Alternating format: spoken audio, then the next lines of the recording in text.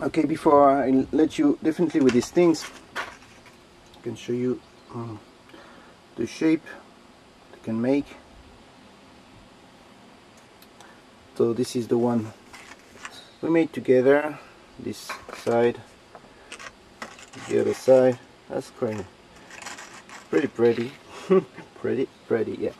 And um, this one also might interest you this is uh, actually the same sheet of paper and it's the, the same idea except that here I fold it this way and here I fold it that way. When I fold it lengthwise and this one I found it the other way.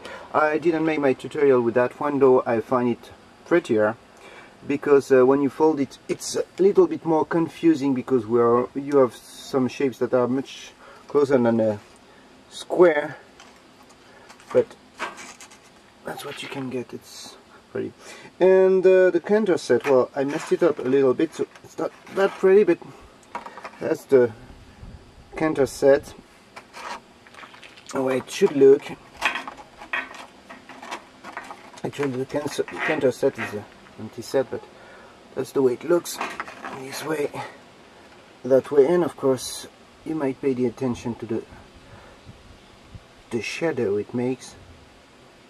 It's pretty I like it. So here are those and the shadow here. I hope you like them. And uh, see you next time for next tutorial.